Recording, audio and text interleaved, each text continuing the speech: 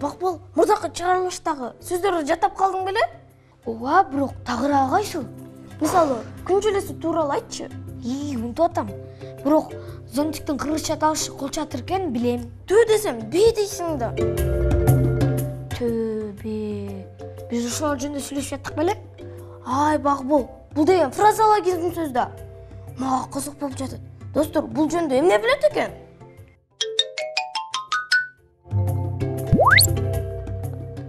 төө десе бени мен сүйлөгөндө анан аны кайталаган түшүнөм да ал эмне ал эле узун сөз экен анткени төөдөн төөнүн баласы б да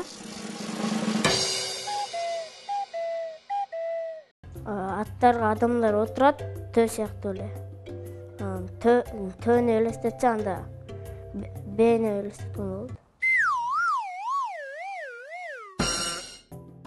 ба төө деген б дегенде мо- мондай мондай болот да. Мисалы сен адамга туурасынан сүйлөсөң ал сага беркиндегинен сүрөт да а мен түшүнбөй калам ал ту- туура айтпай эле го мен ага башка суроо бердим го деп таң калып калам да мен.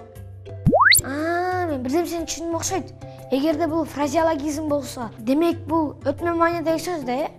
Ооба мен сага бир нерсени түшүндүрүп жатсам сен башка нерсени айтып атасың ошону төө десе б деп коюшат. Түшүнө эле бегим ай сен башканы айтсаң мен такыр эле башканы айтып кеткен турбаймынбы